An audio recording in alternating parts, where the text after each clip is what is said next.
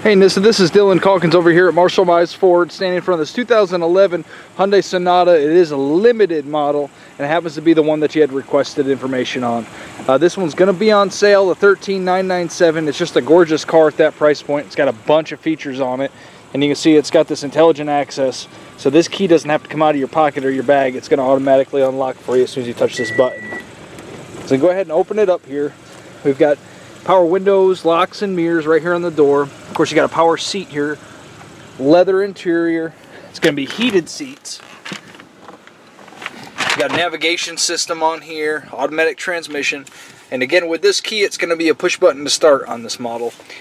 Cruise control, Bluetooth, voice activation. Uh, you got voice recognition on here. About 49,000 miles. That right? I'm sorry, 51,000 miles. There's your heated seats right there. Storage inside here.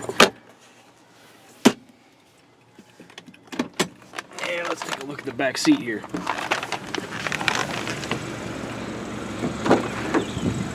Everybody's got air in the back. Everybody stays cool. And then, of course, cargo area in the trunk here. Windows are already tinted, that's a huge trunk.